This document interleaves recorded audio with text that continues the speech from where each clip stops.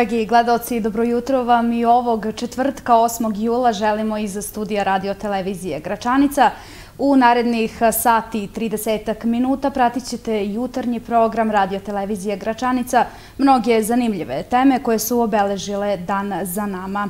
Što se tiče vremena, danas će biti najtoplije u ovom vremenskom talazu, kažu meteorolozi, Zato je uključen i crveni meteoalarm, najviši stepen upozorenja na ekstremno vreme. E, prognozirane su naročito opasne vremenske pojave, a takvog su intenziteta da mogu prouzrokovati veliku materijalnu štetu i biti veoma opasne po bezbednost ljudi i životinja. E, treba se često informisati o detaljima očekivanih meteoroloških uslova i rizika, slediti naredbe i savete nadležnih državnih službi, navodi se na sajtu Republičkog hidrometeorološkog zavoda, a da mi čujemo opširniju vremensku prognozu.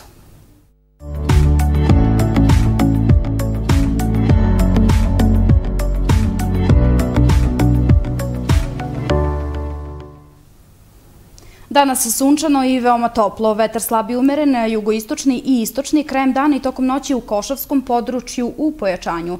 Najniža temperatura od 15 do 23, a najviša od 34 do 38 stepeni. U petak u većem delu zemlje pretežno sunčano i veoma toplo. Na jugozapadu i zapadu tokom dana, a uveče i tokom noći na severu i zemlje uz lokalni razvoj oblačnosti sa pljuskovima i grmljavinom. Vetar slab i umeren, najniža temperatura od 18 do 26, a najviša od 34 do 37 stepeni. Očekuju se relativno nepovoljan uticaj biometeoroloških prilika na hronične bolesnike. Izvestan oprez se savjetuje osobama sa oboljenjima srca. Glavobolja i osjećaj malaksalosti su moguće meteoropatske reakcije, a preporučuje se adekvatno odevanje, smanjenje fizičkih aktivnosti, unos dosta tečnosti kao i oprez u saobraćaju.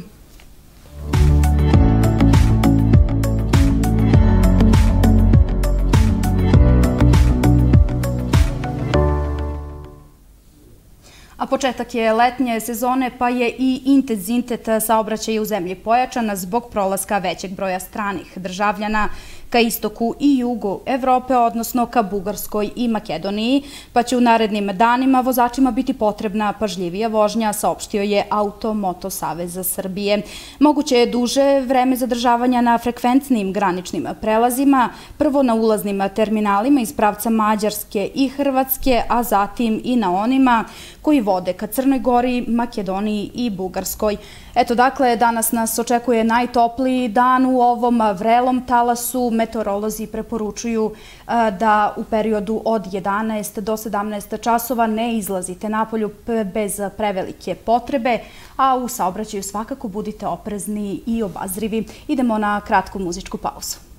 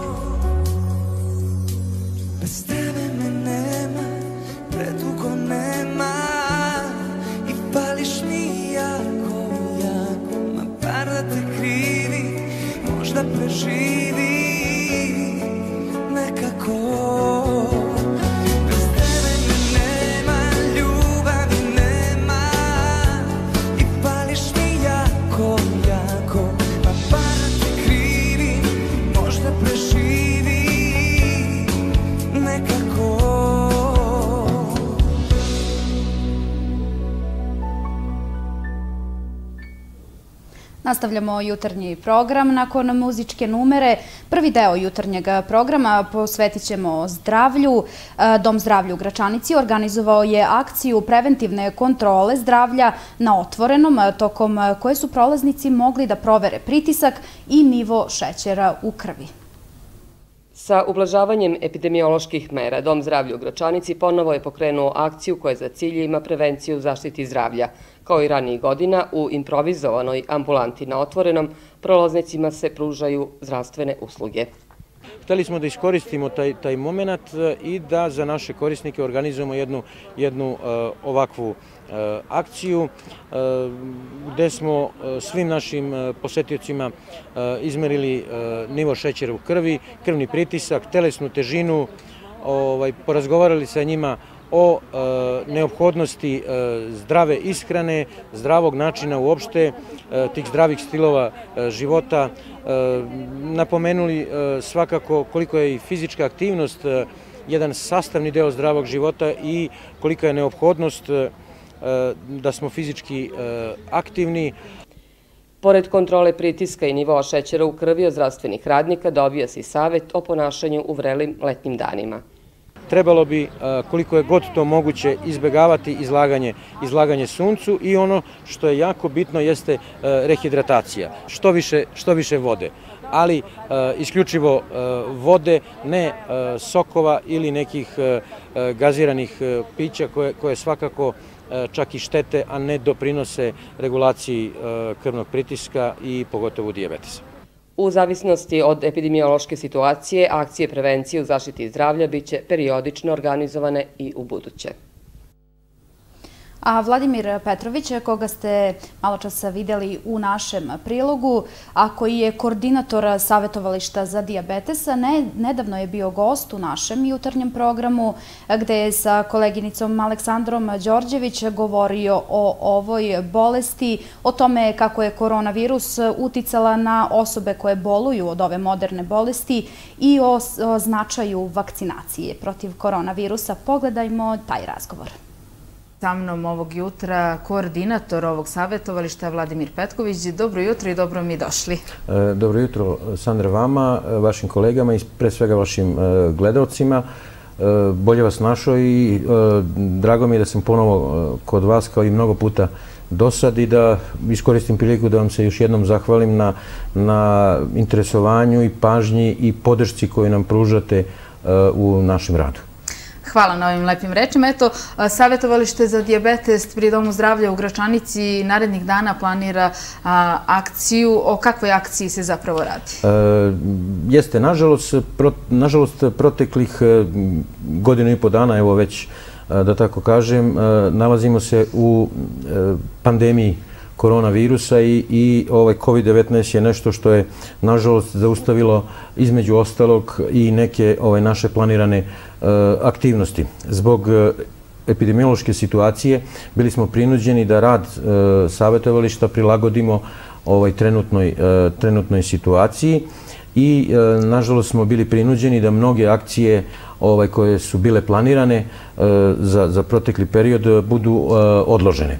Eh, sada u momentu kada, kada eh, hvala Bogu, na sreću imamo jednu, eh, jedno zatišje, da tako kažem, i dosta bolju situaciju što se tiče zaražavanja koronavirusom i COVID-19, hoćemo da iskoristimo tu priliku i da evo najavljujemo u sredu sljedeće nedelje, 7. jula, u periodu e, u jutarnjim satima zbog e, jasno je ove e, ovih vrućina od 8 do 11 sati na platovu u centru Gračanice ispred Doma zdravlja organizujemo jednu akciju preventivnog, da tako kažem, karaktera koja merenja šećera u krvi i krvnog pritiska. Pored toga, svim našim korisnicima Eh, možemo izmeriti telesnu težinu, eh, porazgovarati sa njima o eh, načinu ishrane, o neophodnosti fizičke aktivnosti i uopšte da promovišemo zdrav život i te zdrave stilove života. Dobro, a kako zapravo funkcioniše savjetovalište za diabetes i hipertenziju pri Domu zdravlja u Gračanici? I sami ste spomenuli da vas je prisustvo koronavirusa i celokupna epidemijska situacija malo poremetila u normalnom funkcionisanju. Jeste, tačno, tačno, nažalost, e, ovaj, kompletan zdravstveni sistem e, je morao vrlo brzo da se e, prilagođava datoj situaciji i mi smo e, također ovaj, sa svojim pacijentima morali da pronalazimo moduse, da za njih uvek budemo tu, da im uvek budemo ovaj, na usluzi, ali da ovaj, ne ugrozimo pre svega zdravlje svojih korisnika, a također i zdravlje E, E, zdravstvenih radnika koji ovaj, rade u savjetovalištu i uopšte u e, Domu zdravlja e, Gračanica. Mi smo imali direktne kontakte i susrete sa svojim korisnicima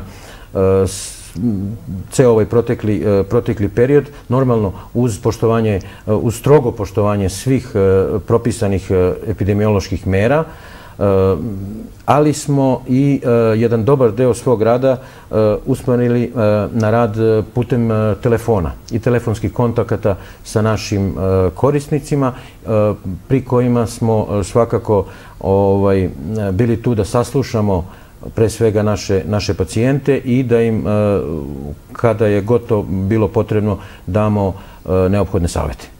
Osim akcije besplatnog merenja šećera u krvi, hipertenzije, telesne težine, savjetovalište za diabetes, koje još akcije ima u planu? Ranije ste sprovodili još nekoliko akcije u toku godine. Jeste, mi smo ovaj, konstantno tokom cele godine povremeno organizovali ovaj, akcije ovakvog tipa, kao što će biti ova u narednu sredu, ali smo pored toga i organizovali neka stručna i edukativna predavanja, gde su svoje učešće e, uzimali i vrhunski e, naši stručnjaci e, u polju diabetologije. Da li postoji izgledi za održavanje nekog takvog predavanja u skorije vreme? Mi se nadamo, mi se nadamo i planiramo jedno takvo predavanje u jednom većem obimu e, koje bi bilo namenjeno e, i e, medicinskim radnicima, lekarima i medicinskim sestrama i tehničarama, ali i našim pacijentima koji su već oboleli od diabetesa, kao i onima koji žele da, da, da sebe sačuvaju i izbegnu eventualno obolevanje od ove bolesti.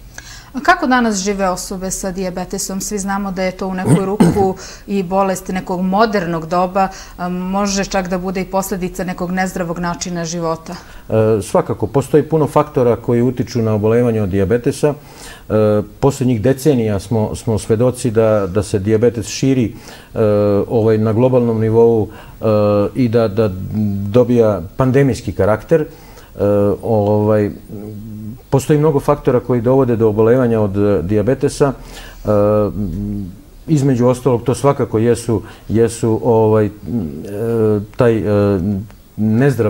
nezdrav život, gde svakako spada ovaj, neadekvatna ishrana pre svega, onda nedovoljna fizička aktivnost, puno stresa, i još e, mnogo faktora koji mogu da e, ubrzaju e, ovaj, obolevanje od diabetesa. Genetski faktor je nešto što je na neki način i najveća opasnost kada je u pitanju obolevanja od diabetesa. Taj genetski faktor svakako ne možemo ne možemo da da, da ukinemo uh, gde on postoji već, ali ga svakako možemo uh, umanjiti. E, smanjenjem ostalih faktora ovaj, rizika dovodimo do značajnog umanjenja genetskog faktora obolevanja, gde svakako možemo u ogromnom broju slučajeva sprečiti obolevanje ili ga makar dugoročno odložiti. A nekako mi se čini da je posljednjih godina olakšan, da kažem, način života s obzirom na to da postoji mnogo proizvođača koji se bave proizvodnjom upravo specijalne ishrane za diabetičara, odnosno mnogo je namirnica koje nemaju u svom sadržaju šećer upravo koje su namenjene diabetičarima. Je li to olakšava, da kažem, život osobama sa diabetesom? To svakako olakšava ishranu Eh, kod eh, kod diabetičara, ali ono što želim da naglasim eh, i ovom prilikom jeste da se ishrana kod diabetičara smatra možda i najzdravijom ovaj, ishranom i najzdravijim načinom ishrane uopšte. E, zašto? Jednostavno zato što e, način ishrane kod diabetičara treba da bude prilagođen tako da e, unosimo što više Eh, zdravih namirnica, a da izbegavamo eh, ili eh, uopšte ne unosimo one namirnice koje nisu tako zdrave.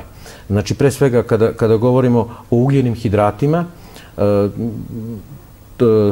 to je hranjivi sastojak koji je neophodan našem organizmu i funkcionisanje jednog zdravog organizma nije moguće bez ovaj, određene količine ugljenih hidrata hidrata. E sada, kada o tome govorimo, e, vrlo je e, bitna količina ugljenih hidrata koji ćemo na dnevnom e, nivou unositi i odabir vrste tih ugljenih hidrata. Ono što je pored toga zastupljeno u diabetičarskoj ishrani jeste neophodnost unošenja svih e, hranjivih e, sastojaka, e, vitamina, minerala, dijetetskih vlakana i njih svakako moramo unositi u što većoj količini i svakako je pre svega povrće, onda voće u određenoj, doziranoj e, količini nešto što nam e, svakako, što svakako doprinosi jednom, e, jednoj zdravoj ishrani i samim tim doprinosi očuvanju zdravlja našeg organizma. Postoje osobe koje i danas žive, a da pritom još uvek ne znaju da imaju diabetes. Kada se treba redovno iskontrolisati i koji je taj signal koji nam naš organizam šalje na koji moramo odreagovati. Verujem da u cilju upravo toga i organizujete akcije besplatnog merenja nivoa šećera u krvi. Jeste, svakako je e, e, ova akcija e, ima za cilj e, pre svega e, preventivni rad sa našim korisnicima, E, mi uvek iskoristimo ove akcije da ne samo direktno izmerimo nivo e, šećera u krvi kod naših e, ovaj, pacijenata ili krvni pritisak, već i da porazgovaramo sa njima, da im ukažemo na značaj zdravog života, na značaj zdrave ishrane, na značaj pravilne fizičke aktivnosti i e, svega ostalog što svakako doprinosi e, našem zdravlju. Između ostalog, e, cilj ovakvih akcija jeste i rano otkrivanje i rana diagnostika kod ljudi koji već imaju izražene simptome bolesti ili kod ljudi koji simptome i ne osjećaju, a nalaze se u u nekom e, stanju, da tako kažemo, e, takozvanog preddiabetesa i e, vrlo brzo i vrlo lako mogu oboleti od diabetesa ukoliko ne promene svoj način života i način ishrane. Nekako je teško da se ovolike visoke temperature podnose i svim zdravim osobama, ali naročito uh, teže podnose svi oni koji imaju neku hroničnu bolest. Kako osobe sa diabetesom treba da se ponošaju kada su ovako, da kažem, u neku ruku sada i ekstremno visoke temperature? E, jasno. E, svaki organizam i onaj e, potpuno zdravi e, osjeća ove visoke temperature i e, te visoke temperature svakako utiču na e, pogoršanje zdravstvenog stanja. E, kod diabetičara je to uvek posebno i uvek više izraženo. Diabetes je inače jedna hronična bolest koja nažalost traje doživotno i koja je prisutna 24 sata dnevno, 7 dana u nedelji. Svaki diabetičar je Eh, mora da donosi eh, izuzetno mnogo odluka u toku svakoga dana.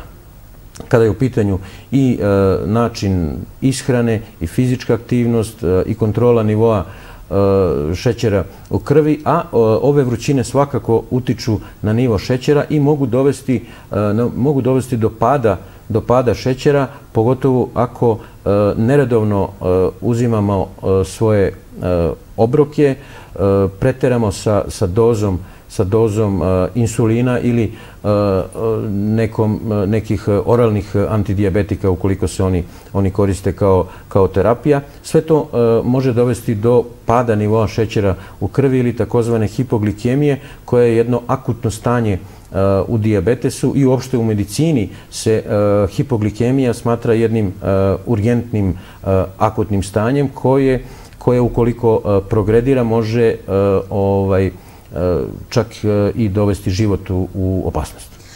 Koji je vaš savjet svim članovima koji zapravo posećuju savjetovalište za diabetes Doma zdravlja u Gračanici i uopšte svim diabetičarima kako da na najlakši mogući način prevaziđu ove visoke temperature?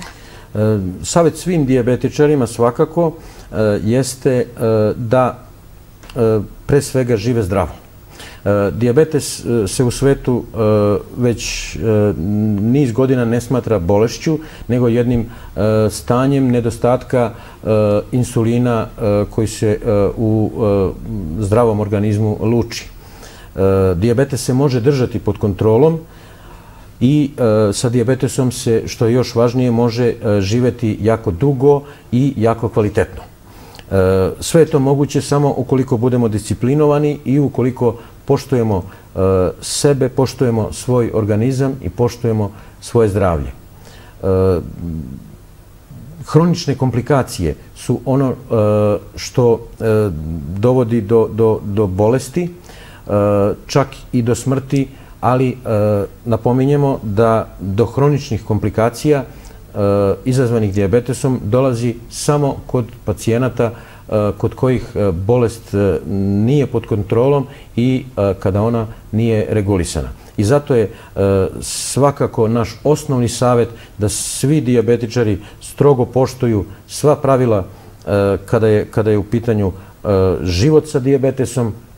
Tu svakako spada zdrava i pravilna ishrana, tu svakako spada dobro dozirana fizička aktivnost, E, tu svakako spada i izbjegavanje stresa koji je svakako i kod zdravih ljudi e, ovaj, okidač e, za obolevanje od mnogih bolesti. Kod diabetičara je to dodatno dodatno izraženo i svakako redovno uzimanje propisane terapije od strane endokrinologa i redovne kontrole koje su kod diabetičara neophodne. Naši gledalci su do sada imali priliku više puta da te gledaju u našem programu kada govorimo o vakcinaciji protiv virusa COVID-19. Ti si organizator same vakcinacije i pratiš tok vakcinacije na području Kosova i Metohije. Koliko je do sada ljudi primilo vakcinu protiv COVID-19? E, jeste, ja e, sam kada je mm, naša država Srbija započela e, proces e, imunizacije protiv COVID-19, dobio i to zaduženje da bude jedan od koordinatora za e, imunizaciju našeg stanovništva sa centralnog dijela Kosova i Metohije. Od prvog dana ovaj, pokušavamo da damo svoj maksimum u organizaciji procesa vakcinacije za naše stanovništvo. Eh, za sada imamo eh, jako dobar, eh, jako dobar odziv i jako dobar broj vakcinisanih ljudi sa teritorije centralnog dela Kosova i Metohije. Kada govorimo o procentima, napomenut ću da, da, da svakako imamo da smo već e, neko vreme prešli taj, e, taj famozni procenat od 50% vakcinisanih e, punoletnih građana, tako da mi u nekoj našoj gruboj proceni, pošto nažalost ovde i, i, i nemamo tačan broj ovaj, ljudi koji, koji živi na, na, na ovom prostoru, ali u nekoj našoj gruboj proceni smatramo da nekih između 55 E, do 60% e, ovaj, punoletnih građana jeste vakcinisano protiv, e, protiv COVID-19. Tu hoću da napomenem još jedno da je procenat vakcinisanih ljudi u u, u starijoj e, ovaj, e, kategoriji e, kod e, starih ljudi e, jako visok i time smo izuzetno zadovoljni, ali e, hoću da još jednom napomenem da, se, da svi moramo biti vakcinisani od COVID-19 i da je to nešto što će nam omogućiti da se izborimo sa, sa ovom pandemijom i e, još jednom napominjem da bez e, vakcinacije i bez e, ovaj vakcinisanja ogromnog broja ljudi, ogromne većine ljudi, pobjede nad, nad COVID-om je ovaj, svakako nemoguća. Vakcinacija je nešto što je, što je neophodnost i i ovim putem hoću da apelujem na sve one naše sugrađene koji do sada E, nisu već vakcinisani, da e, odvoje e, malo vremena i da se odluče na taj, na taj korak da se, da se vakcinišu, jer su svakako dve osnovne stvari već dokazane i sa naučne strane, a i u praksi. A to je da pre svega ova vakcina deluje i da vakcina nema štetna dejstva. To su dve osnovne stvari koje, koje je vakcina otkada se e, ovaj, primenjuje e, dokazala i e, zbog toga još jednom napominjem i apelujem na sve naše sugrađane koji do sada nisu vakcinisani da se svakako što pre odluče na, na, na, na taj korak i da se vakcinišu. Da li će i tokom leta biti organizovan odlazak do određenih punktova za vakcinaciju? Jasno, jasno, apsolutno. E, naše stanovništvo s ovog područja se od početka e, E, procesa imunizacije vakciniše e, na vakcinalnom punktu u Domu zdravlja u Kuršumliji. E, naša država je učinila apsolutno sve da našim ljudima omogućimo što brži, što bolji i što kvalitetni odlazak na vakcinaciju. Također, svi mogu da biraju vakcinu kojem kojem žele da se, da se vakcinišu. E, mi e, ćemo to e, raditi apsolutno kao, kao i da sada uz, uz jedan jedan, jedan veliki stepen ovaj volje i želje da, da, da našem stanovništvu pomognemo da se, da se što brže i bolje vakciniše i da samim tim ovaj, pobedimo COVID. Hvala Vlado na ovim informacijama. Nadam se da ćemo uskoro pričati i upravo na tu temu da je završeno e, celokupna uzbuna, da kažem, oko COVID-a i da e, je ta priča, da kažem, zatvorena, završena, da ćemo pričati o nekim boljim temama. Ja se iskreno, ja se iskreno nadam da ćemo, da ćemo ovaj, vrlo brzo moći da o tome govorimo, e, ali svakako bez vakcinacije to neće biti moguće i zato uz masovnu vakcinaciju do pobede nad COVID-om. Hvala još jednom na ovom gostovanju. Hvala vama. Sada je 10 sati, 33 minuta. Vreme je za najvažnije vesti. Sa mnom u studiju je koleginica Jelena Mirković. Jelena, izvoli. Dobro jutro, Milena, tebi. Dobro jutro svim gledocima jutarnjeg e, programa. U nastavku sledi najvažnije vesti. U specijalnoj bolnici za cerebrovaskularne bolesti Sveti Sava u Beogradu otvorena je nova sala e, za čiju je adaptaciju sa ugradnjom e, novog uređaja Ministarstvo zdravlja odobrilo 135 miliona dinara. Predsjednik Aleksandar Vučić najavio da će se nastaviti opremanje klinika i dodao da veruje da će do kraja godine uslediti novo povećanje plata za zdravstvene radnike. Tako je. Mašina vredna skoro milijon i dvestotine hiljada evra je moderni angiografski uređaj koji nema niko na području bivše Jugoslavije, ni u Bugarskoj ili Rumuniji, već postoji u Beču i Stambulu. Sada je posjeduje i bolnica Sveti Sava u Beogradu, poručio je predsjednik Vučić. To pomaže ljudima prilikom izliva krvi u mozak, lekarima koji su se mučili, nisu mogli najbolje da vide, onda i pacijentima koji su neretko ili ne prežive ili završavali sa invaliditetom. Ovo će u mnogome to te neželjene posljedice da smanji. Istovremeno i nama kao državi da smanji troškove, jer posle nekoliko dana ljudi će ići kući umjesto da ostaju po šest meseci Vučić je poručio da će se nastaviti sa opremanjem bolnica dok će Sveti Sava ili biti obnovljena budući da klinika datira iz 1930. godine ili će biti građena nova. Želim vam da dobijate i nove mašine i taj magnet 3 Tesla, Tesla 3 magnet kako god. Dakle, to moramo da nabavimo pre kraja godine i verujem da ćemo to sve uspeti. Verujem da ćemo zdravstvene radnike obradovati do kraja godine povećanjem plata, najavio je predsjednik Vučić. Sastanak ekspertskih delegacija Beograda i Prištine u okviru dijaloga o normalizaciji odnosa završeni su u Briselu, izjavio je specijalni predstavnik Evropske unije za dijalog Beograda i Prištine Miroslav Lajčak, koji je prisustvovao sastanku. Šef srpske delegacije Petar Petković rekao je da razgovori nisu bili laki i da je naša delegacija insistirala na tome da se ispuni sve što je dogovoreno, a pre svega na zajednici srpskih opština. Miroslav Lajčak je na zvaničnom Twitter nalogu napisao da su završeni opsežni i dubinski razgovori o čitavom nizu elemenata dijaloga, prethodnim postignutim sporazumima, tekućim pitanjima i sljedećim koracima u normalizaciji odnosa između Beograda i Prištine. Šef e, srpske delegacije Petar Petković rekao je da razgovori nisu bili laki i da je naša delegacija insistirala na tome da se ispuni sve što je dogovoreno, pre svega na zajednici srpskih opština, kao i da je pokrenuo pitanje nestalih osoba. Iza nas je tri i po sata veoma teških razgovora. To samo govori u kakvoj poziciji se danas država Srbija nalazi. Ali, verujte, naš tim se borio hrabro i odlučno i najbitnije argumentovan komplikovano. Mi dobro razumemo situaciju u kojoj se nalazimo i zato težimo kompromisnom rešenju, rekao je Petković posle nove runde dijaloga na tehničkom nivou. Naveo je da razgovori nisu bili ni malo laki, da je na momente bilo čak i vređanja sa albanske strane. Premijerka Ana Brnabić izjavila je povodom nastavka dijaloga Beograda i Prištine u Briselu na tehničkom nivou da sve što je dogovoreno mora i da se ispoštuje. Svi sporazumi i potpisani moraju da se poštuju. Garant briselskog sporazuma je Evropska unija. Na tom sporazumu je i njihov potpis, rekla je premijerka Srbije. To je početak i kraj toga, naglasila je Ana Brnabić. Poslanici Skupštine i e, u Prištini usvojili su rezoluciju o osudi genocida u Srebrnici, kojem se srpski režim optužuje za stradanje Bošnjaka u tom gradu u Bosni i Hercegovini e, pre 26 godina. Rezolucija o Srebrnici usvojena glasovima 89 poslanika parlamenta u Prištini.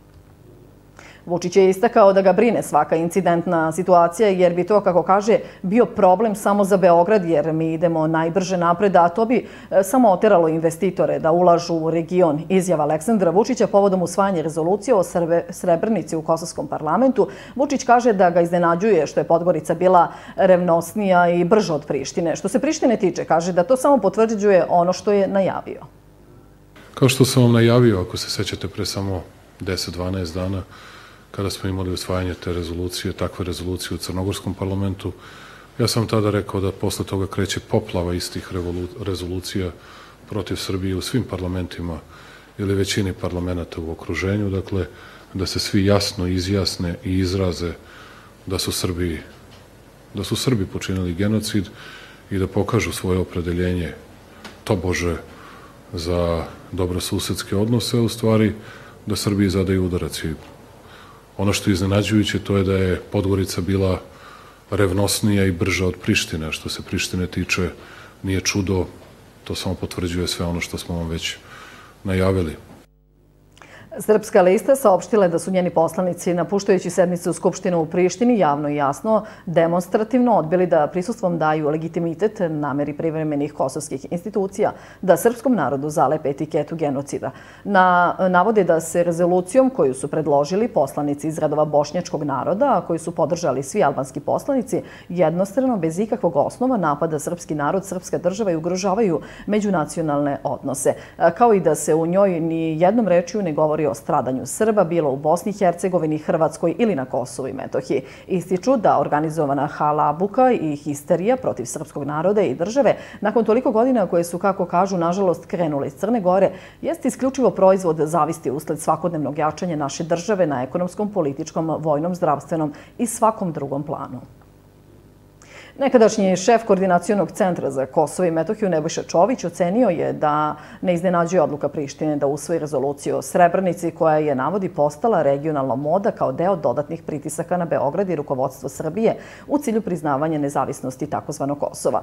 Za očekivanje je da će toga biti još puno na razno razne načine, a rezolucije oko Srebrnice postale su regionalna moda, rekao je Čović za Tanjug. On je dodao da podržava ocenu predsjednika Srbije Aleksandra Vučića da je to političko iživljavanje, priznavanja, sve u sklopu projekta i pristupa kako izvršiti dodatni pritisak na Srbiju u cilju priznavanja nezavisnosti. Samo menjaju određene modalitete, ali zaboravljaju ključnu stvar da oni nisu sproveli ni jedan sporazum, rekao je Čović.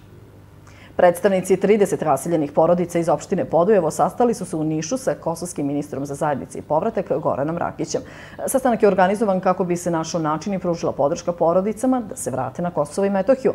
Navodi se u saopštenju e, Goran Rakić je na sastanku rekao da proces povratka ne nailazi na iskrenu podršku privremenih institucija u Prištini i da zavisi isključivo od Ministarstva za zajednice i povratak koje ulaže velike napore da vrati što više ljudi u svoje domove i na svoja imanja.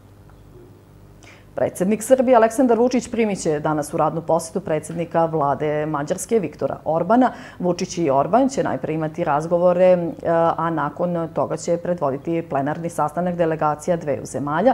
Najavila je predsjednikova služba za saradnju e, s medijima. U zgradi generalnog sekretarijata predsjednika Republike predviđena je ceremonija uručenja ordena e, srpske zastave prvog stepena mađarskom ministru spoljnih poslova i spoljne trgovine Peteru Sijartu. Nakon toga predviđena predviđene su izjave za medije Vučića i Orbana. Prema posljednjim podacima, koronavirus je u Srbiji potvrđen kod još 103 osobe od testiranih 8520 uzoraka. Od posljedice zaraze preminule su još dve osobe. Na respiratoru je 10 pacijenta.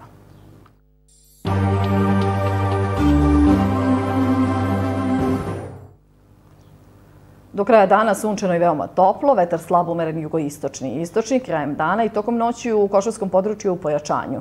Najniža temperatura kretala se od 15 do 23, a najviša dnevna od 34 do 38 stepeni. I toliko u ovom izdanju e, vesti. Milena? Hvala Jelena, eto čuli ste najvažnije vesti, a mi jutarnji program nastavljamo sa svim aktuelnim temama.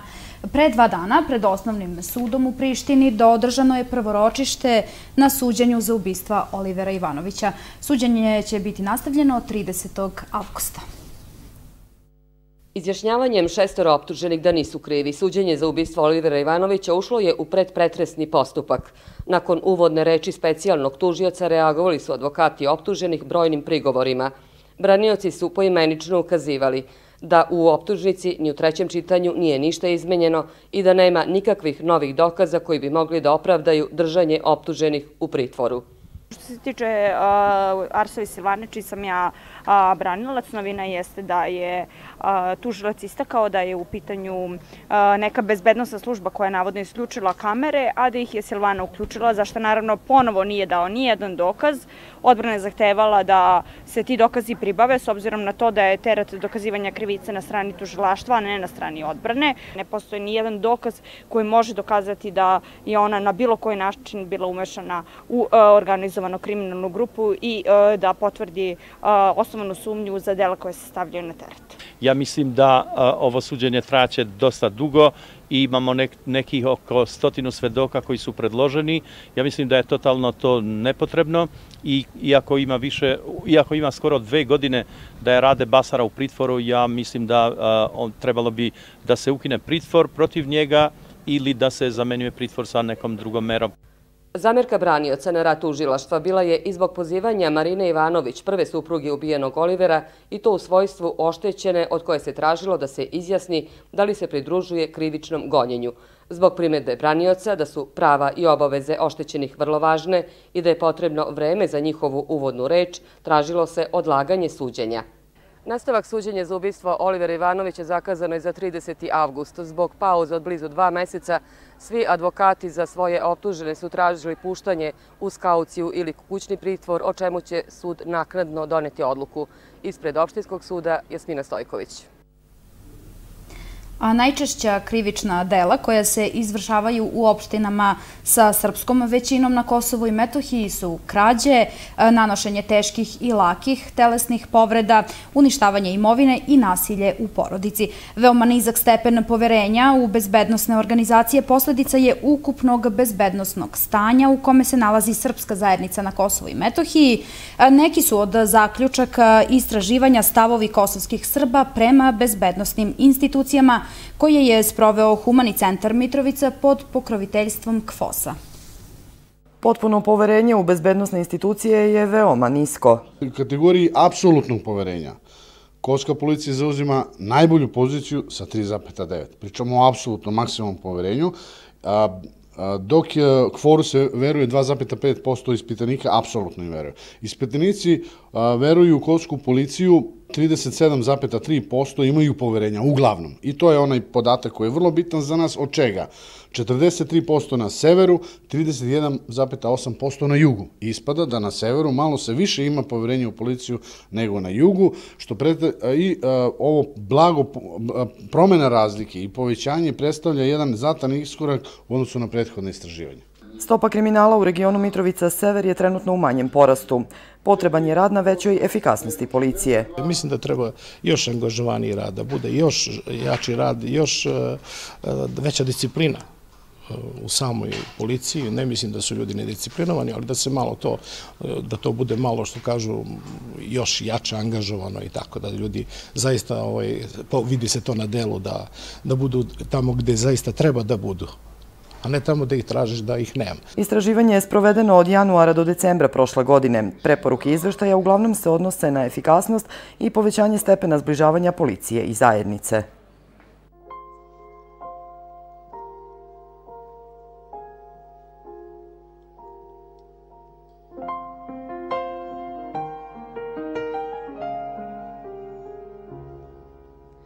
Trebalo je nekad minut da smo sami, da probudi se naše ludilo.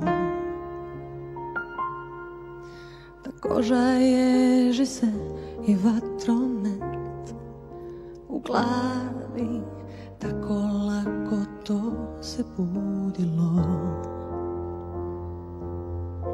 I umeo si ti od ljudi zveri da me braniš Volela sam kako čuvaš me.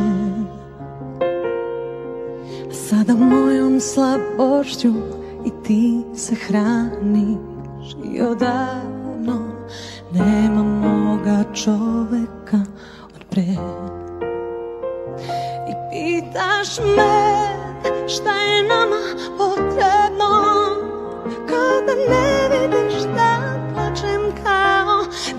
dete slomljeno Jer čudo treba nam Da se samo sve od sebe sredi.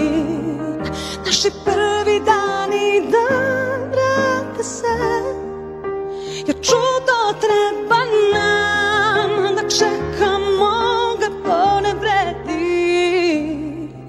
Čuda nema nigde su potrebni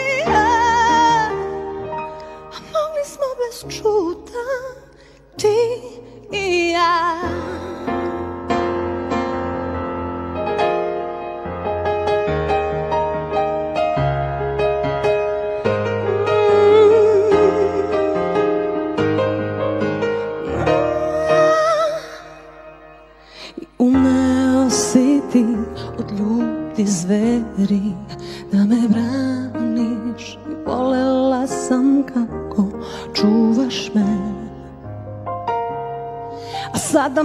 mojom slabošću i ti se hraniš. I odavno nema moga čoveka od pre. I pitaš me šta je nama potrebno? Kao da ne vidiš da plačem kao dete slomljeno. Jer čudo treba nam da se samo sve naši prvi dan i da vrate se jer čudo treba nam a da čekamo ga to ne vredi. Čuda nema nigde su potrebnije a mogli smo bez čuda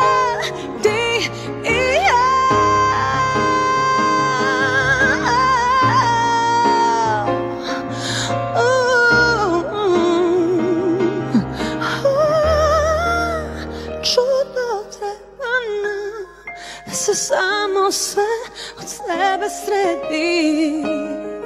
Naši prvi dani da vrate se Jer čudo treba nam, a da čekamo ga to ne vredi. Čuda nema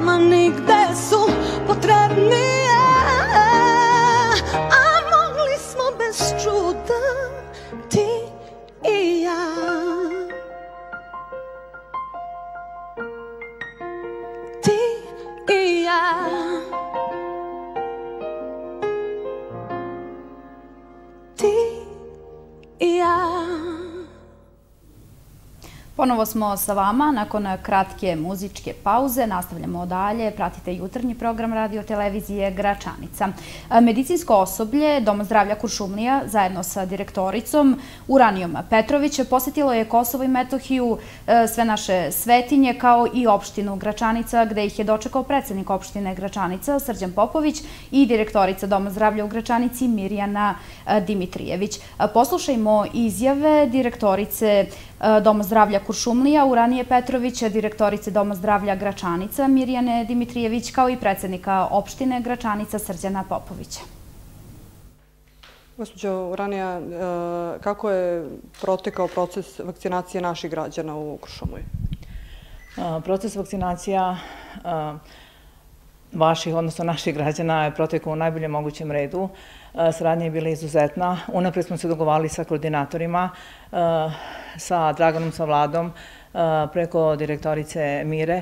Eh, mi smo davali građanima vakcine ne samo iz Gražanice, nego i znači, iz celog centralnog Kosova i Metohije, centralnog Kosova i Metohije. Eh, tako da smo, nekog dana smo davali oko 500 doza, nekog dana 200 doza.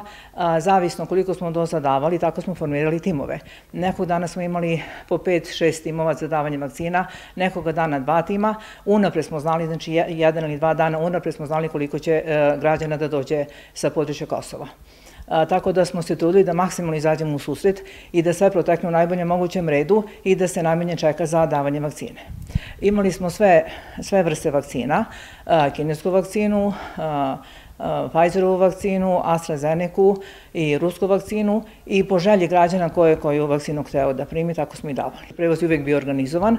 E, sporadično su dolazili i sami sa svojim kolima, nismo pravili problema, znači dolazili su građani posle toga i nezakazani i tada nismo pravili problema, znači davali smo, radili smo znači, i subotom i nedeljom, normalni radnim danima celog dana. Zakazivanje znači, više ne važi od danu, znači mi dajemo e, i za nezakazane građane. Također dajemo znači ne samo sa Kosova, nego dajemo za građani iz Bosne i iz građani iz Severne Makedonije.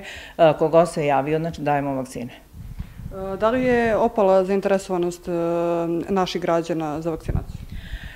Pa, moje lično mišljenje da nije opala zainteresovanost, ali e, je većina ljudi već primila vakcine i zahvaljujući tome nemamo koronu niti, niti na ovom području, kako sam čula, niti kod nas već zadnjih mesec dana nema ni jedan slučaj pozitivne korone ali sporadično znači, e, pacijenti dolaze. Jer znate kako, postoji kontraindikacije kad ne može da se primi vakcina, pa pacijenti čekaju. Da li su bili bolesni od korona ili su bili bolesni od gripa, ili imate ili trudnici ili porodilje koji ne mogu da prime, pa onda moraju da se čekaju jedan određeni period kada da dođu. E, kako ste se proveli danas na Kosovo i Metohiji i kakvi su vaši utisci? Sve sam se naježila, znači fenomenalno, fenomenalno. E, toliko sam prijetno iznenađena, znači sa, sa rukovodstvom Doma zdravlja Gračanice, sa gradonačelnikom, sa koordinatorima, znači toliko sam prijetno iznenađena e, i bilo mi poznato znači, videti znači, naše svetinje i e, prosto osetite e, neki duhovni mir i duhovnu lepotu. Ja želim ovim putem da se zahvalim Domu zdravlja Kuršumlija koji je nama izašao u susret i vakcijenje sve o kompletno stanovništvo naše sa centralnog dela Kosova i Metohije, uključujući Štrpce i pećki deo, znači Metohije oni su zaista pokazali e, veliku humanost i organizovanost za naše ljude e, odavde koji su odlazili organizovano na vakcinaciju, a mi smo se zaista trudili da tu organizaciju maksimalno sprovedemo kako treba. Eh, što se tiče same organizacije, vi ste upoznati eh, za sve vreme eh, od 19. januara kako je krenula vakcinacija našeg stanovništva, da je bio organizovan prevoz i da smo svake nedelje iz nedelju u nedelju imali ovaj, određeni broj ljudi koji je odlazio i mi smo za naše stanovništvo unapred ovaj, slali podatke i trebovali one vakcine koji su naši meštani želeli da prime. Tako da ja se nadam da su i naši ovaj, pacijenti zaista, mislim naši ovaj, pacijenti koji se leču u domu zdravlja i ostalim domovima zdravlja sa centralnog dela Kosova i Metohije zadovoljni organizacijom i samom uslugom koju su dobili u domu zdravlja u Kuršumliji. Velika mi je čast e, što sam e, imao prilike e, da ugostim direktoricu Doma zdravlja iz Kuršumlije, doktoricu Petrović i medicinsko osoblje iz Kuršumlije koji su stvarno odradili jedan fenomenalan e, posao i o tome svedoče isto i naš narod koji e, je išao e, na vakcinaciju u opštinu Kuršumlija. Isto tako želim da pohvalim Dom zdravlja i doktoricu Miru Dimitrijević iz Gračanice koja je stvarno odradila isto tako fenomenalan posao E, posao sa njene strane, e, prevozi i svi uslovi koji su bili potrebni da se naše stanovništvo uspešno vakcioniše, to je funkcionisalo na jedan veoma dobar i e, profesionalan način. Naša država, naš predsjednik Aleksandar Vučić se stvarno potrudio da naše stanovništvo ne oskudeva u ničemu Eh, na Kosovu i Metohiji. Eh, danas, evo, opština je jednim malim eh, gestom pokazala svoje zadovoljstvo, kako je sve to proteklo. Danas smo organizovali zajedno sa Domom zdravlja u Gračanici ekskurziju za medicinske radnike iz Kušumlije i imali su prilike da vide naše svetinje na Kosovu i Metohiji. Nadam se da će preneti utiske svojim porodicama, e, svojim saradnicima u Domu zdravlja i e, da su danas imali prilike da vide e, šta je Kosovo i Metohija i koliko znači našem narodu i našoj državi. Kraj je još jedne školske godine. Pravo je vreme da se oni džaci koji su vredno radili na svom odličnom uspehu i nagrade, pa je tako i predsjednik privremenog organa opštine Leposovića Zoran Todić primio i uručio skromne poklone đacima generacije i vukovcima osnovnih i srednjih škola. Džake generacije u osnovnim školama nagradio je i dekan učiteljskog fakulteta Prizren Leposović, profesor dr. Radomir Arsić. Đaci generacije i Vukovci, tri osnovne i dve srednje škole, na prijemu kod predsjednika opštine Leposavić, nagrađeni su knjigama i skromnim poklonom. Predsjednik Zoran Todić je izrazio nadu da će svi svršeni osnovci i srednjoškolci nastaviti dalje školovanje na prostoru Kosova i Metohije. Danas smo priredili prijem za naše đake Vukovce, nosioce Vukovih diploma. Svesni smo da nije ni malo lako biti u kontinuitetu učenik sa svim peticama. Naravno, tu su osmaci, ljudi osam godina, deca jednostavno, e, koja su svih osam godina imala sve petice. Tu su i srednjoškolci koji već 12 godina imaju sve petice.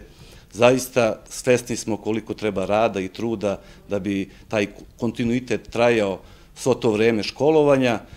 Na ukazanom poštovanju i prijemu zahvalni su i direktori škola i učenici za nas kao osnovnu školu Leposović koja je po broju učenika možda i najbrojnija ovde na teritoriji opštine Leposović velika čast što imamo ovoliki broj učenika nosioca diplome Vuk Karadžić e, koji su svojim trudom i zalaganjem, svojim rezultatima, uspesima na takmičenjima pokazali da stvarno zaslužuju tu e, nagradu. Velika mi je čast što sam postala e, jedan od Vukovih učenika, to jest e, učenik Vukove diplome. Želela bih da se zahvalim predsjedniku opštine kao i svima ostalima, e, našim roditeljima, nastavnicima, direktoru škole, koji su uvek bili naša podrška i da nas ulepšali naš dan. Đake generacije osnovnih škola nagradio je i dekan učiteljskog fakulteta Prizre Leposavić, profesor dr. Radomir Arsić. Pa meni je drago što sam učesnik ovog lepog skupa e, sa decom je uvek najbolje raditi. Meni je drago što su ovo deca najbolja među najboljima. Znači, mi moramo da ulažemo u ove generacije. Iz tog razloga je učitelj fakultet odlučio da najboljim, odnosno e, učeniku generacije, kako to oni kažu, najboljim učeniku u osnovnim školama, dodelimo skroman poklon u vidu jednog tableta koji će im koristiti za njihov rad. Prijem osnovaca i srednjoškolaca organizovan je u sali Skupštine opštine Leposević. A učenici koji su ove godine završili četvrtu godinu srednje škole e, neće imati puno vremena za odmor ovog leta jer su mnogi od njih morali da pripremaju i prijemni ispit e, za željeni fakultet.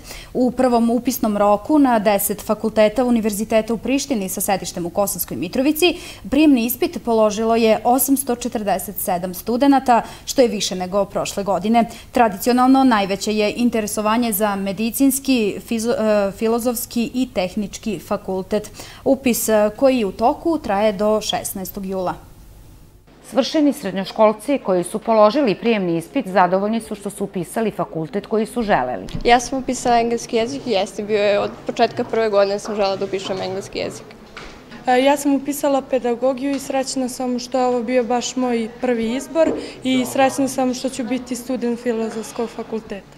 Ja sam upisao engleski jezik i književnost, bila mi je želja još od kad sam krenuo u srednju školu još od prve godine i srećan sam što ću konačno da upišem svoj željeni fakultet. U prvom upisnom roku na Prištinskom univerzitetu upisano je više studenta nego prošle godine, kao i ranije veliko interesovanje za medicinski, filozofski i fakultet tehničkih nauka. Na nivou univerziteta ukupno prijavljenih je do sada za sve fakultete 847 kandidata, U odnosu na prošlu godinu to je povećanje za 84 kandidata. Najveće je interesovanje za medicinski fakultet tradicionalno, međutim ove godine mnogo više u odnosu na ranije godine. Zatim veliko interesovanje za e, filozofski fakultet, e, studijski program psihologije, za fakultet tehničkih nauka, za arhitekturu, e, za mašinsko inženjerstvo, što je prilično iznenađujuće, i standardno još za E, za programe koji obrazuju informatičare i na Prirodno-matematičkom fakultetu i na Fakultetu tehničkih nauka.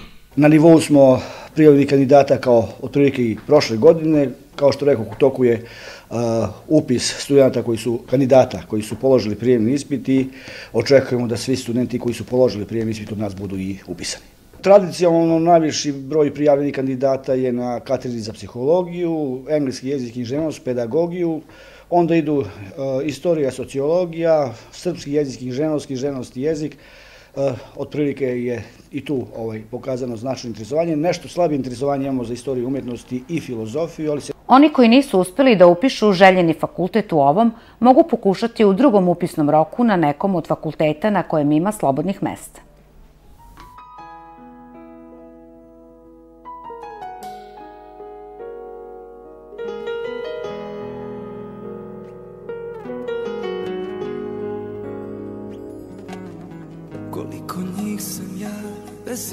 Imena ljubio ko to zna. A srcu malo je i tad si me dotakla tim hladnim usnama. Sve su bile bego sna samo ti si bila ta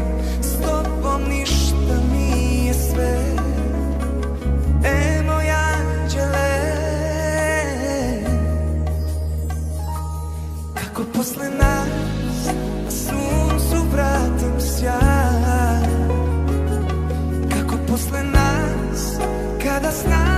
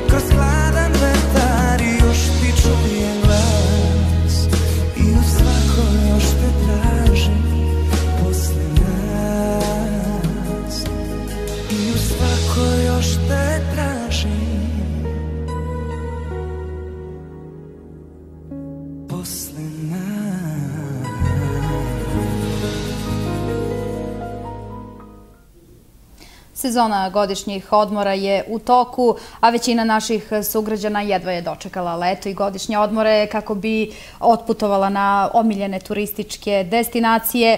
Usled pandemije koronavirusa prošle godine e, turisti su se uglavnom odlučivali za letovanje u Srbiji. Međutim, ove godine turisti se najčešće opredeljuju za Tursku, Egipat ili Crnogoru. Sezona godišnjih odmora je u jeku. Osetno je manje ljudi na gradskim ulicama. A mi smo pitali Mitrovčane, koji još uvek nisu otputovali, da li planiraju letovanje ove godine. Planiram ove godine u Crnogoru. Zašto Crna Gora? Pa razlozi su brojni. E, prvo, isti jezik, isti narod. E, drugo, je i situacija sa COVID-19. PCR test e, se ne traži u Crnogoru, tako da to je jedna od prilike, eto, lakših opcija za odlazak ove godine? Planiramo odmor ove godine, najvjerovatnije će to biti Koponik, prosto zbog toga što je blizu. Da, idem uh, u Crnogoru u Budlo mesto, sa društvom idem i preko škole. Posetili smo turističku agenciju i upitali koje su to najtraženije destinacije ovog leta. Naši sugrađani su uglavnom odlučili ove godine za Crnu Goru i Egipat. To su bile najpopularnije destinacije što se tiče prodaje kod nas posle toga idu Tursko i Albanija. Ono, Albanija je isto u nekom porastu potražnje ove, ove godine. Što se tiče Crne Gore i Albanije i Makedonije, to nije potrebno ništa. Znači, nema, nema potrebe ni potvrda vakcinacije, ni, ni negativan PCR test. Što se tiče Turske za državljene Srbije, može i brzi test, ovaj, antigenski test ili negativan PCR test, kao i COVID pas, što je potvrda vakcinacije. Za Egipat je potreba negativan PCR test ne stariji od 72 sata ili, ili uh, potvrda vakcinacije. Ako je putnik pozitivan na, na, na, na, na COVID, povraćaj novca, aranžman se otkazuje i povraćaj novca vršimo u roku 24 časa. Također, ako se desi neko nepredviđeno ponovo zatvaranje granice, neki lockdown određene zemlje ili destinacije, također vršimo povraćaj novca koliko je putnik iz, uplatio do tog trenutka u roku 24 časa. Mnoge zemlje, usled poboljšanja epidemiološke situacije, otvorile su svoje granice i željno iščekuju turiste. Ali ipak struka savjetuje da se pridržavamo mera kako bi na letovanju bili bezbedni i zdravi i meštani opštine Gračanica ove godine moći će da se tokom ovih vrelih letnjih dana moći će da se osveže na bazenu Hacijenda na domaka Gračanice jer je sezona kupanja uveliko počela, a naša ekipa posjetila je ovo kupalište. Sezona na bazenu Kacijenda u Gračanici ove godine je počela nešto ranije. Iako je prošla godina zbog još aktualne epidemijske situacije za vlasnike bazena bila katastrofalna, ova sezona počela je nešto bolje. Ove godine je sezona znatno bolje počela. Počeli smo par dana ranije, a i mere što se tiče korone su dosta blaže. E, prošle godine su nas zatvarali, usred sezone smo bili zatvoreni, dok su svi zatvoreni bazeni radili. Broj kupača je dosta veći bio na početku sezone, Imamo redovnih možda stotina kupača svakog dana. Dolaze uglavnom mlađe generacije, ali ima i starih e, ljubitelja plivanja. Pa od anti-covid mera primenjujemo samo dezinfekciju na, na ulazu i imamo određeni razmak među stolovima. Također je ograničen broj ljudi na bazenu. Ovo kupalište je savršeno mesto da se opustite tokom nedelje u ovim vrelim letnjim danima. Postalo je centar za omladinu jer, pored korišćenja bazena, oni organizuju žurke i na otvorenom. Ove godine je bilo već, su bile već dve žurke i evo e, sutra nam dolazi jedan poznati reper Nući. To će biti jedan veliki e, koncert festivalskog tipa. Planiramo što više žurke ove godine jer to privlači mladi. Pored vaših redovnih kupača i plivača, na bazenu Hacijenda počinje i škola plivanja i vaterpola, a i jedan karate klub je e, svoje treninge prebacio ovde kod vas. Da, uskoro, e, to je 15. jula, počinje škola plivanja i vaterpola koju je organizovao naš e, poznati vaterpolista Nikola Rađen. Također, pored te škole vaterpola, tu je i karate klub Senši koji redovno održava treninge pored bazena, tako i u bazenu tim mladih ljudi koji ovde radi svakodnevno se trudi da se kupači osjećaju sigurno, zaštićeno, da im bude ugodno i zabavno. Bazen Hacijenda se nalazi iznad Gračanice i daleko je od gužve i buke, što vam garantuje mir i odmor. Eto, vidjeli ste kako je na bazenu Hacijenda nadomak Gračanice e, primamljiva ponuda za osveženje u ovim vrelim letnjim danima. Ipak crveni metoalarm je na e, teritoriji Republike Srbije najavljen i u narednim danima, a lekari savjetuju izbegavanje suncu u najtoplijem delu dana, kao i hidrataciju kako bi se zaštitili od visokih temperatura. Kako visoke temperature utiču na ljudski organizam i kako se zaštititi od toplote, odgovore smo potražili u Domu zdravlja u Zvečanu. Visoke temperature i uopšte ove promene jako e, loše utiču na hronične bolesnike. Utiču naravno i na zdrave ljudi i oni osjećaju promene, ali pogotovo na hronične bolesnike, e, one e, koji imaju kardiovaskularno oboljenje, koji imaju plućne oboljenja. Svim savjetujemo da se klone e, izlaska eh, u najtoplije doba dana, znači posle 10-11 sati jednostavno da sede kod kuće, e, da se rashlađuju, da se da piju dovoljno tečnosti. Ako baš neko mora da izlazi na obavezno nošenje šešira, obavezno nošenje lagane odeće, znači nikako pretopljavanje, e, zatim nošenje normalno ovaj, naočara zbog e, očeva i zbog sunca i opet, opet napominjem samo rashlađivanje. Pitali smo doktorku Parlić da li su se pacijenti sa simptomima toplotnog udara ili sunčanice javljali na pregled. To su uglavnom bili E, E, mlađi e, koji su bili na bazenu, koji ne vode računa o tome i misle da ništa ne može da im se desi, međutim predugo, predugi boravak na suncu može da dovede i do sunčanici i do toplodnog udara. Češće sunčanice nego toplodni udar. Da biste uživali u najlepšem delu godine i zaštitili se od negativnog uticaja prekomerenih temperatura na organizam, struka savetuje da se pridržavate svih propisanih mera zaštite. Eto, čuli ste savete lekara i mi savjetujemo da se pridržavate njih. A zanat je vrsta delatnosti koja se bavi proizvodnjom, popravkom ili održavanjem nečega. Majstori koji su izučili zanat su svoje proizvode pravili od početka do kraja. Šta je osim mnogo rada potrebno za uspeh, odgovara privrednik Zoran Stanković iz Klokota. U Klokutu se od uvek jednim lokom gledalo na njivu, a drugim na nove tehnologije.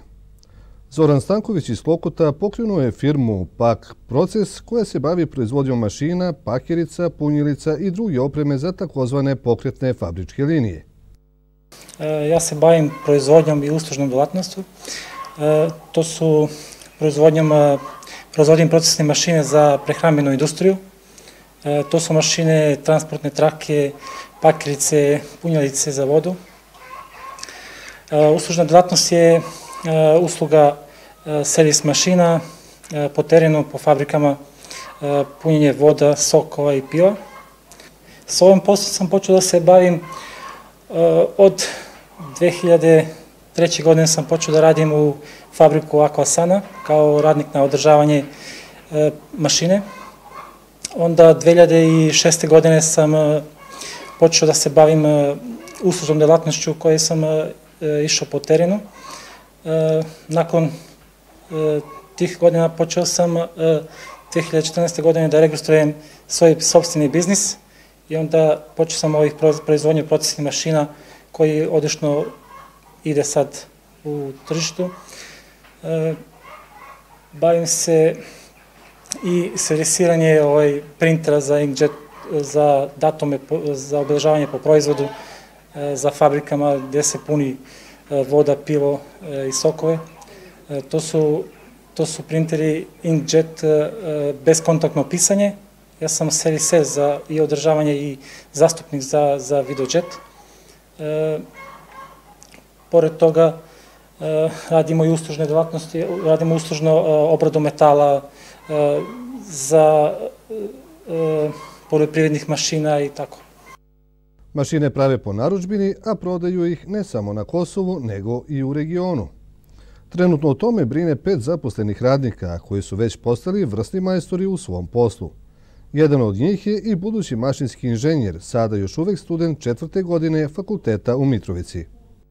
Ceo proces radimo, znači idemo prvo dimenzionisanje i onda projektovanje mašina od početka do kraja. Delove proizvodite sami? Da, delove proizvodimo sami sve. Koliko je vas uključeno u samom procesu proizvodnje? Trenutno radimo nas četvorica i gazda. Jeste zadovoljni poslom? Veoma sam zadovoljan. S obzirom da sam i upisao mašinski fakultet, zadovoljstvo mi je što radim u struci. Koliko ti pomaže praktični rad? Pa dosta.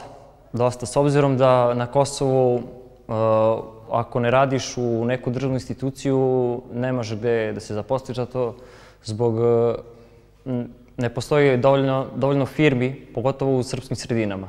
Tako da mi ovo baš dosta znači. U pak procesu ne mogu više ovako. Mali im je poslovni prostor i moraju da se prošire.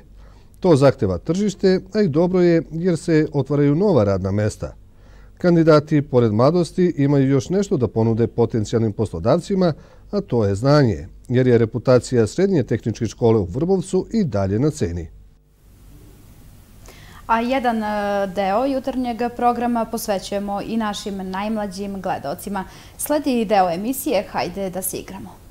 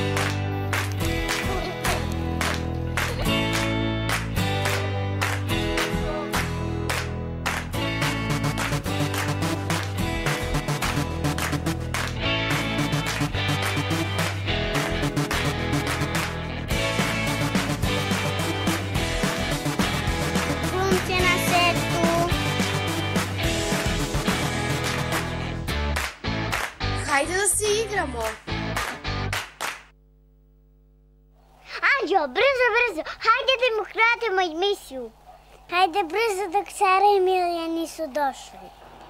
Vidjet će oni ko je mali, a ko je veliki.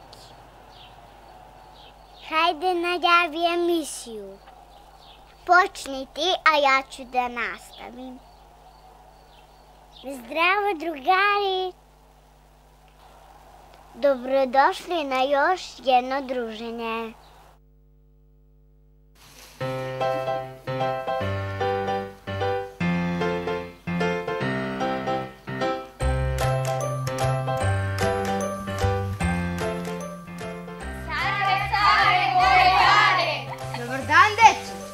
Gde ste bili? U bašti. U bašti. Šta ste tamo radili? Morat ćeš da pogodiš.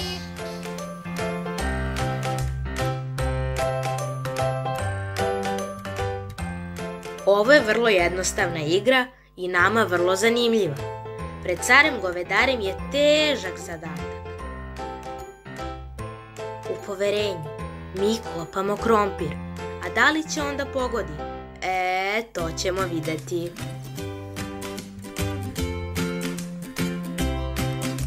Bi moglo da se radi u bašti?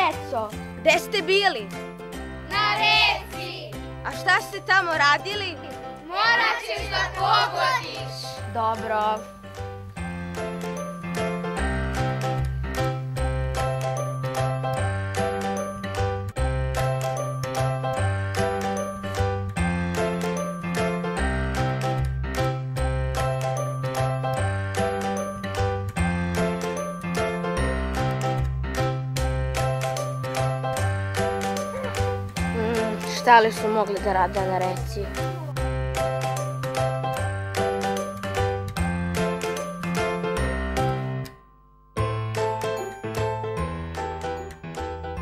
Hmm, Da niste plavili rekom?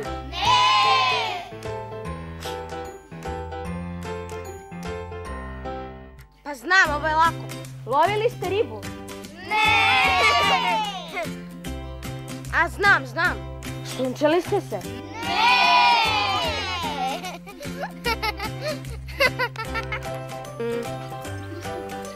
Vala, ovo je sigurno.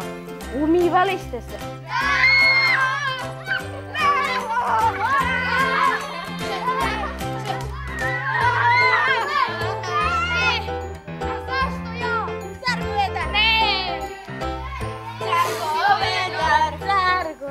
Car govedar! Sad govedar.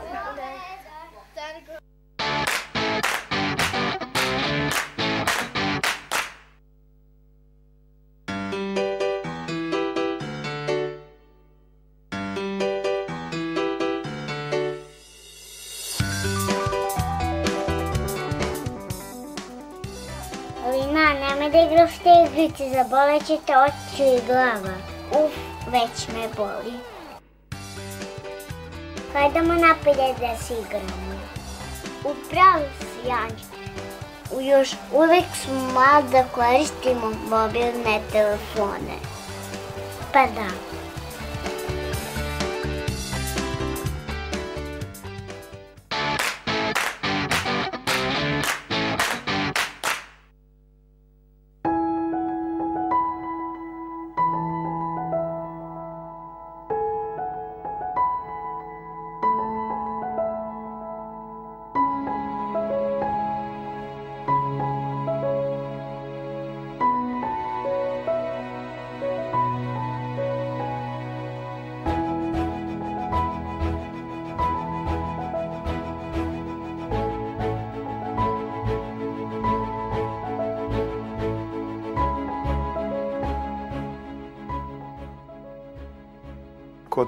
Bubice, dangubice stigle gošće neradnice, kako koja s neba pala, za igru je samo znala.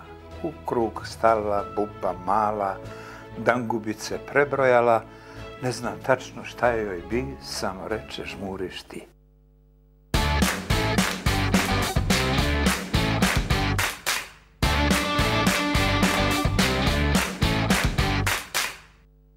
Ja sam poseban slučaj u srpskoj pevaniji za decu. Neka ta posebnost bude u tome što sam rođen u porodičnom gustišu u mojih roditelja, desetoro dece, pet kćeri i pet sinova i čim se probudiš ti si već u vrtiću. E, ali igre naše, te seoske, pogotovo u doba mog čobandluka, bile su, bile su veoma grube. Tako da ja to neke igre i, i, i pamtim isključivo po grubostima, u neke su se uplitali i odrasli, nisu mogli da se snalazu, pa, pa, pa, pa Boga mi bude i nekih packi po nama. Recimo, ali mogu da, pa, recimo ona igra Ali, pali, žari, žeži. To je tako gruba igra, ja ne znam da li se spominje u ovoj seriji, ali to ono se svodi na ovo, da, recimo, ako si ti taj koji je dežurni, koji koji je u, opasnosti, okružen si ljudima, a svoje generacije decom, dakle, e, govorimo o toj grubosti negdanjoj, i sada ovaj, treba ja, one me mlate šakom po šaci, dok ja pogodim ko je. Ali džavola ćeš ti pogoditi u toj gužvi ili, ili neće da otkriju ko je i, i onda te vode do... A, a što je još gore, najeđe neki odrasli, pa to tako dobro zvizne i pomerite, on prođe svojim putem, a ti si i dalje onaj jednik koji, koji dežura. Stefan. Nije. Laza. Jeste. Kona.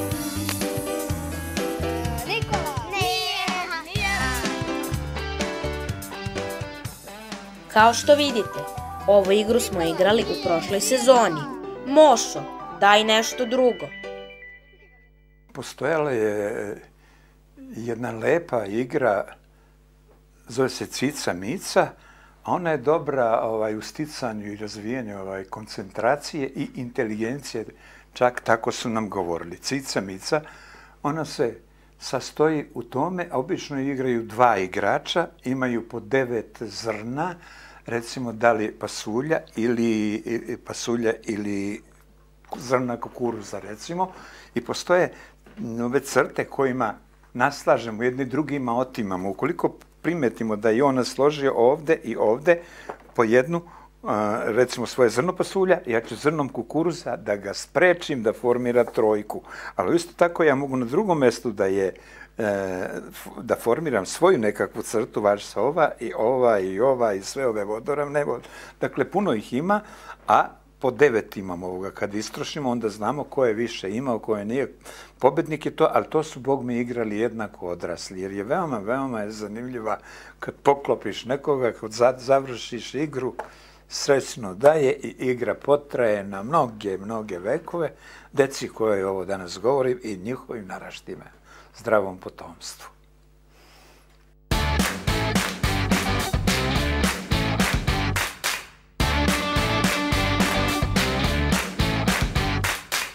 Hajde da se igramo. Nadamo se da su naši najmlađi gledalci uživali i čak i naučili neku novu igru. A da mi za kraj jutarnjeg programa još jednom čujemo kakvi nas vremenski uslovi očekuju do kraja dana i sutra.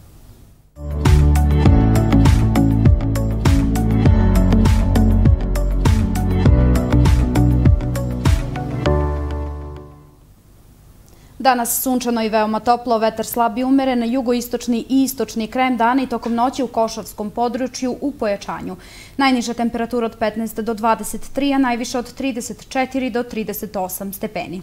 U petak u većem delu zemlje pretežno sunčano i veoma toplo, na jugozapadu i zapadu tokom dana, a uveče i tokom noći i na severu zemlje uz lokalni razvoj oblačnosti sa pljuskovima i grmljavinom. Vetar slab i umeren, najniža temperatura od 18 do 26, a najviše od 34 do 37 37 stepeni. Očekuje se relativno nepovoljan uticaj biometeoroloških prilika na hronične bolesnike. Izvestan oprez se savjetuje osobama sa oboljenjima srca. Glavobolja i osjećaj malaksalosti su moguće meteoropatske reakcije. Preporučuje se adekvatno odevanje, smanjenje fizičkih aktivnosti, unosa dosta tečnosti kao i oprez u saobraćaju. Pratili ste još jedno izdanje jutarnjeg programa radio televizije Gračanica.